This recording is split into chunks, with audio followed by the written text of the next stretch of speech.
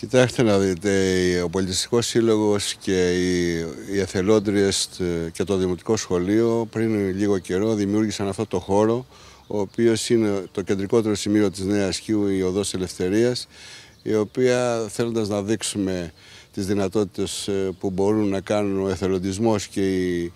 η προσπάθεια των ανθρώπων που θέλουν ένα καλύτερο μέλλον και ένα καλύτερο περιβάλλον φύτευσαν ε, αυτά τους κατηφέδες και τους βασιλικούς για να αλλάξουμε λίγο στη μαύρη ζωή που περνάμε αυτόν τον καιρό λόγω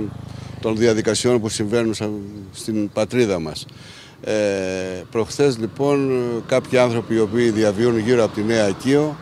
με σακούλες στα χέρια και που δεν προλάβαμε να το,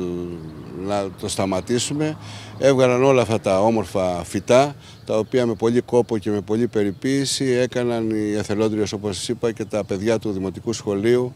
και οι κάτοικοι της Νέας Χίου. Ε, δεν ξέρουμε πώς πρέπει να αντιδράσουμε, μεταφέρουμε τις ευθύνες σε αυτούς που πρέπει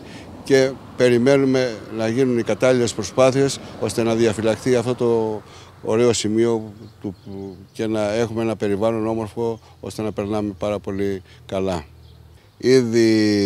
θέλω να σας ενημερώσω μέσα από εδώ ότι πέρα από την προσπάθεια που έχει κάνει την παιδική χαράκη η οποία κάθε μέρα ε, γεμίζει από φωνές παιδικές ε, ε, έγινε και μια προσπάθεια, ήρθε το κάθε μέρα ε,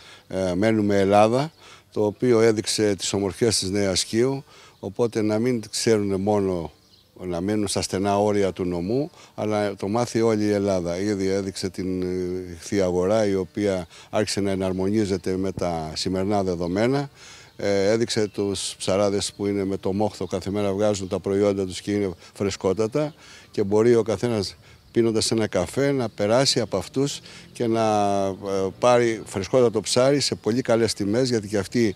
ε, συντονιζόμενοι με την κρίση που υπάρχει, δίνουν τα προϊόντα τους σε πολύ καλές τιμές. Λοιπόν, θα είναι ευκαιρία για όλους τους ανθρώπους που ζουν στην Αργολίδα και έξω από αυτή, όποτε βρεθούν εδώ πέρα, να πάρουν τα ψάρια τους στα φρέσκα, να πιούν τον καφέ τους στα όμορφα καταστήματα της παραλίας και έτσι να δώσουμε μια οικονομική ένεση στη σχημάζουσα οικονομική κατάσταση που περνάει ο κάθε τόπος και ειδικά η Νέα Κίο.